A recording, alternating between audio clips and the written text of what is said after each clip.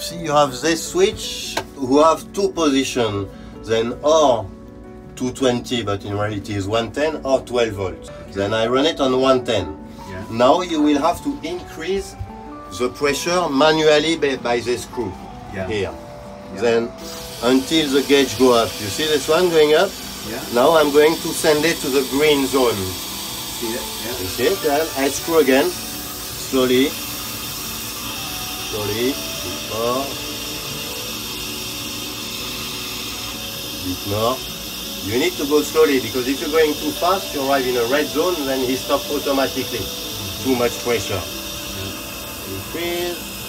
Look at that now. I'm not screwing anymore but you see this gauge still going up. Then you need to keep an eye on it and maybe unscrew a bit to reduce a bit the pressure. Yeah. if you arrive in a red zone, it's not a big deal. It's just going to stop by itself. It's automatic stop. But you see now the green light go on.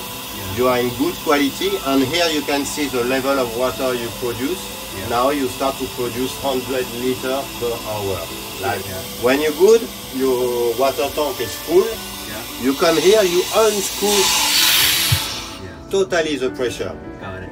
And look at that. Your freshwater pump now is running automatically. Because automatically it's going to rinse the, the membrane and the filter and everything with fresh water. Got it. Like that is going to use maybe like 5 gallon of fresh water to rinse all the system. Okay. Then it's very important when your full when your water tank is full, you don't stop it just by off. You release all the pressure Yeah. you let this pump running, it's automatic. You Yeah. see now it stopped, It's done. Finish to rinse, and you see this one flashing very quickly. Yeah. Mean is like in standby, you can turn it.